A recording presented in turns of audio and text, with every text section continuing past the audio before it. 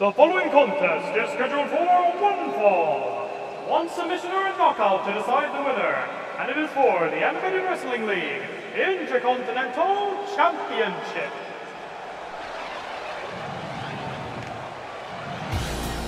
Good evening, wrestling fans from the world famous AWL Arena in Tokyo, Japan. This is the Animated Wrestling League, episode 326, part 2, and our first championship match of the week. Kid Canada, the reigning and defending Intercontinental Champion, has said he wants to defend the title against wrestlers from five different countries. How he's going to do that during a pandemic?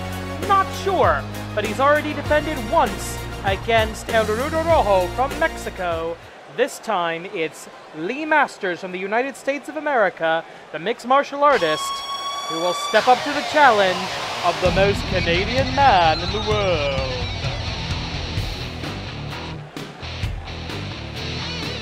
There he is, W-Y-S, write your story. That's what he started saying when he used a golden opportunity to become AWL Grand Champion. And now he's looking to use the Intercontinental Championship to do the same thing. He walks the road less traveled. He has already successfully made one title defense, five defenses, and he will cash that belt in for an opportunity at the AWL Grand Champion, whomever that may be. It's probably going to be Jigoku Destroy, let's just be honest about that.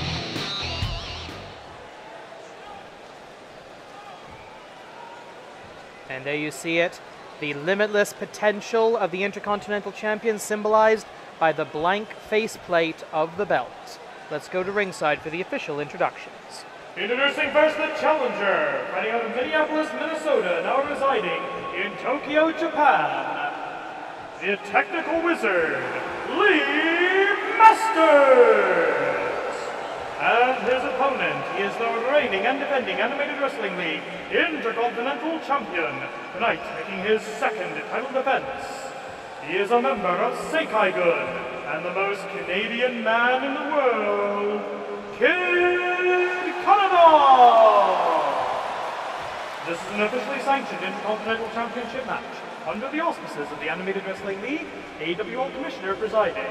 At the sound of the bell, AWL Senior Official Joey Babaganoush in charge. Lee Masters gets a good look at the belt so he knows what he's fighting for. There it is, the Intercontinental Championship, the contender's title.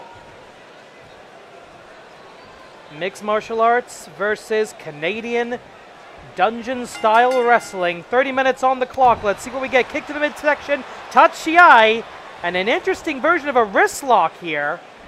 Taking down joint manipulation, skilled mat technique, skilled grappling technique, but a facebuster. Kid Canada used to being surprised by submission maneuvers. After all, one of the last graduates, the final graduating class alongside Tyson Kidd, among others, of the legendary Stu Hart Dungeon. So he knows what it means when someone wants to show you something. Crucifix does not hold him for a pin, cannot hold him for a pin. Kid Canada goes on the offense, but a simple raising knee, a simple knee lift, taking Kid taking Kid Canada down for a second cross body block. And again, not bothering for a cover that time. He certainly could have done. One minute in, and it's been blow for blow, hold for hold. Almost a diving clothesline there by Lee Masters. Lee Masters typically a tag team specialist. We don't get to see him in singles competition that often. Bulldog, a big Canadian bulldog. Do they have bulldogs in Canada? I don't even know. Oh, what is this? As as a kneeling abdominal stretch, I think you could call that. That's the problem with calling a Kid Canada match is I genuinely, half the time, have no idea what he's doing. And looking for some kind of an escape back to a vertical base to relieve the pressure. Lee Masters is able to convert into a hip toss, but damage done to the arm and to the abdominal muscles of Kid Canada. Oh! Some kind of a takeover by Lee Masters. I'm out of my element here, ladies and gentlemen. These guys know, these guys have forgotten more wrestling holds than I've ever known.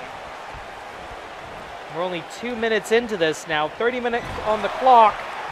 A little wrestle maps in the corner. 30 minute time limit in all championship matches in the AWL to prevent a fluke title retention by time limit draw. Because, yes, in the event of a time limit draw, the belt will remain with the champion. And now going up, swinging neckbreaker by Kid Canada. Leg sweep by Lee Masters, trying to pull him up into a front face lock, vertical suplex position. And he likes to convert that vertical suplex into a rear naked choke, but this time decided, I'm just going to hit him and hurt him. And now Kid Canada quite literally on the ropes. Remember, the title is on the line here. And Lariat to the outside. That may have been a strategic error by Kid Canada. Sorry, by Lee Masters, but it does give him a bit of a breather and chance to take control of the situation.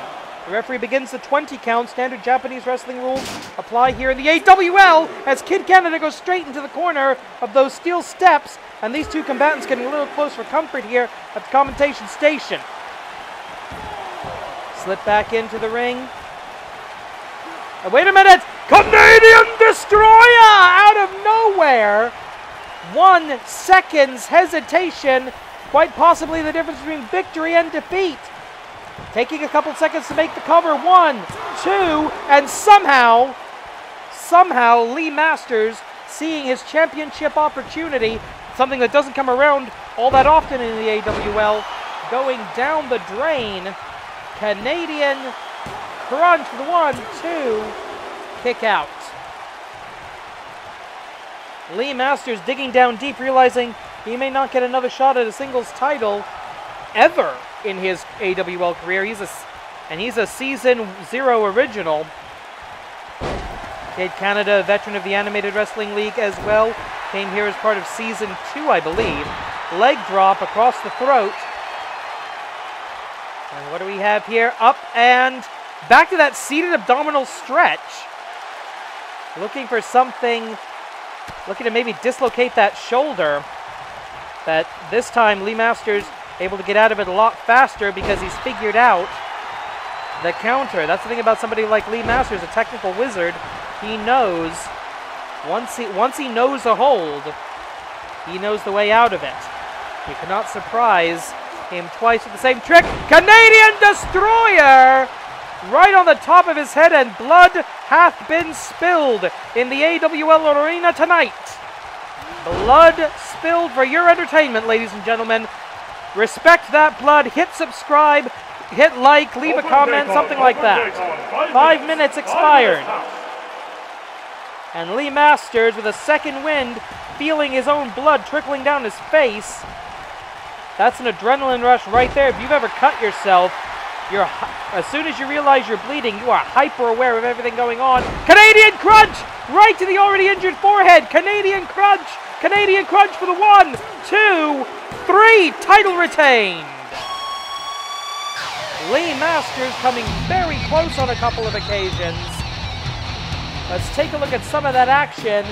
Canadian Destroyer, I believe that was the one that busted him open. And the final Canadian Crunch. Yeah, right knee right to that cut for the one, two, three.